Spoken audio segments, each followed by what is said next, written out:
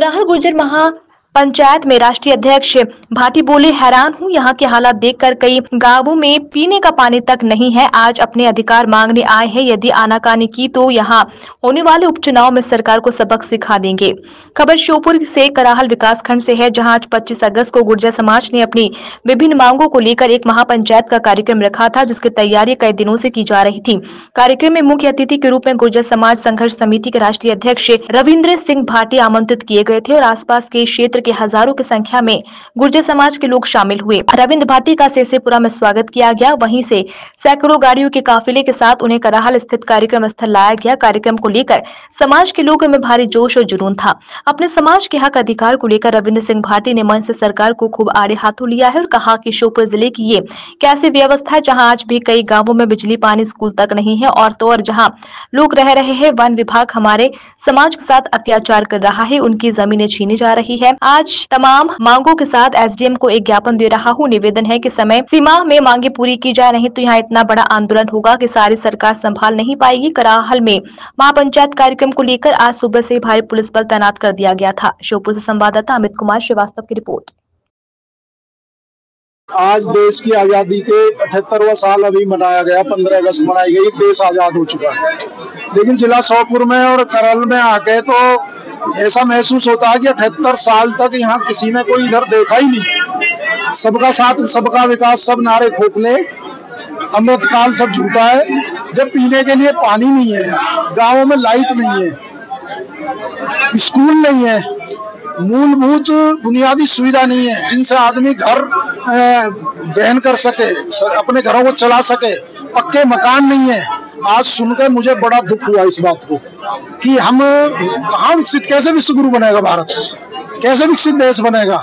जब सारे नेता यहाँ सरकारें बदलती रही, नेता बदलते रहे, अधिकारी बदलते रहे, लेकिन किसी ने ये कच्चे मकानों की तरफ़ नहीं देगा किसी ने पानी की तरफ़ नहीं देगा किसी ने लाइट की तरफ़ नहीं देगा तो हमें मजबूरन आंदोलन के लिए समाज को गुजर समाज को विवश होना पड़ा और मैं आपके माध्यम से अभी फिर मैं दोबारा सरकार को और प्रशासन को कहना चाहता हूँ, ये मत छेड़ो यदि अपनी पे आ गए तो ये ट्रेनों को भी रोक सकते हैं ये सरकार को भी बदल सकते हैं। ये जो समाज है भोला समाज है, ये बेचारे अपने हकों के अधिकारों को मांगना भूल गया था, लेकिन अब दोबारा संकित हो रहा है। और ये इकट्ठा होना जिस दिन जान गया, सरकारों को नींद आनी बंद हो जाएगी। हमने समय दिया एस साहब को कि जिन गाँवों में लाइट नहीं है, उसमें लाइट हो। जहाँ स्कूल नहीं है, वहाँ स्कूल बने। जहाँ छात्रावास नहीं है, वहाँ छात्रावास बने।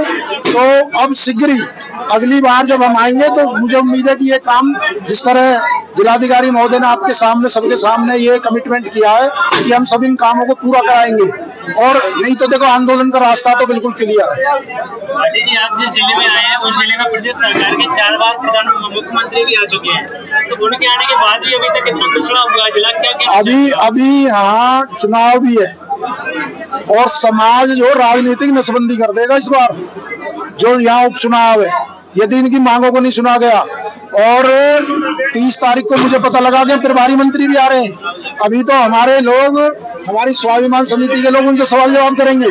प्रभारी मंत्री का कार्य केवल मलाई खाने का नहीं है कि आप लाल बत्ती गाड़ी में बैठ के घूमते रहो और मलाई खाते रहो। जनता के लिए सरकार होती है। जनता के लिए न्यायालय होते हैं। जनता के लिए संसद होती है। सारे काम जनता के लिए होते हैं, लेकिन ये काम श्योपुर में तो नहीं दिख रहे।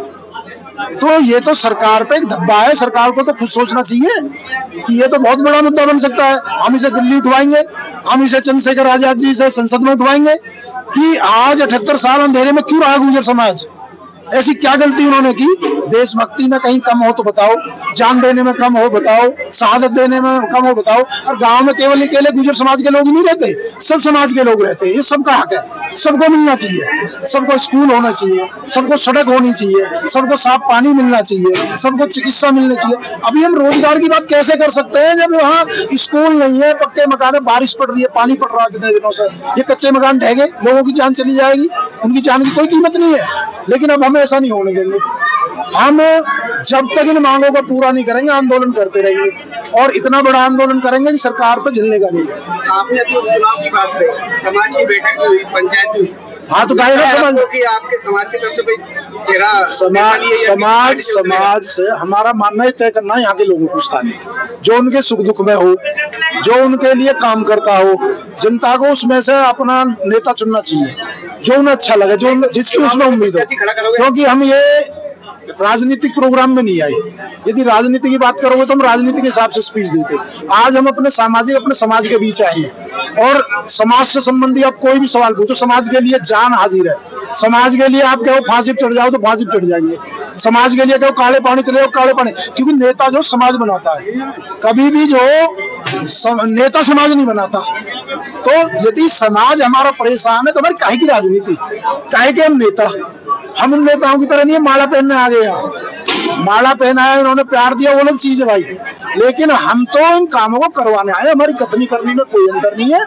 और जब तक ये काम पूरे नहीं होंगे तो हम चैन से ना सरकार को बैठने देंगे, ना हम बैठेंगे, ना अपने लोगों को बैठने देंगे। आज में मुझे उम्मीद ऐसी आशंका है कि वन विभाग से ज़्यादातर ज़्यादातर समस्याएँ और तो कहीं ना कहीं इसमें कोई क्या कहते हैं वो काली दाल दाल में काला इसकी भी जाँच होनी चाहिए। आखिर वन विभाग हमने कहीं वन विभाग तो और देश में और भी जगह इतने समस्याएँ वन विभाग की नहीं देगी। ये कोई वन विभाग का काम अपने वन का है। वो गाँव में इंटरफेयर कर रहा गाँव के पट्टे की ज़मीन पर कर रहा। अरे वन विभाग की ज़मीन तो कागजों में चढ़ी होती है खतौनी में। उसे गाँव वाले थोड़ी कब्जा सकते हैं। लेकिन वो उनके गाँव के पट्टे निरस्त करा के नील टीट करा के ज़मीन खींच रहा है लिखे रहा है तो ये तो कोई धंधा चल रहा है। और इसमें हो सकता है मंत्री भी शामिल हो। इसकी भी जाँच होनी चाहिए कि आखिर वन मंत्री ज़िले का होते हुए इतनी समस्या वन से इसी ज़िले में क्यों है? और किसी ज़िले में होती तो मान सकते थे। लेकिन इसी ज़िले में का अब चलो वनों की बात छोड़ो, कच्चे मकान वाले मंत्री कहाँ है? क्यों कच्चे मकान दिखाई नहीं दे रहे? पानी वाले मंत्री कहाँ है? सिंचाई मंत्री? लाइट वाले, उद्योग वाले मंत्री कहाँ है? तो ये कहीं ना कहीं आपको जो ना काम करनी पड़ेगी। देखो, आप सरकारें बनती है जनता के लिए बनती है। और शासन भी जनता के लिए होता, अधिकारी भी जनता के लिए होते तो यदि यहाँ सीधे लोग हैं, भोले लोग हैं समाज के, वो बिना बिजली के पढ़ने में पीछे रह गए, वो अपनी बात सरकार तक नहीं पहुँचा पाई, उनकी गलती नहीं है, उन्हें सुविधा ही नहीं मिली। ये नेता चाहते नहीं है कि ये लोग जागरूक जागरूक होंगे तो सवाल करेंगे सवाल करेंगे तो काम करना पड़ेगा, इसलिए हमें आवाज़ बनना पड़ेगा, और हम तो यही काम यदि सरकार नहीं सुनती है तो आंदोलन धन्यवाद।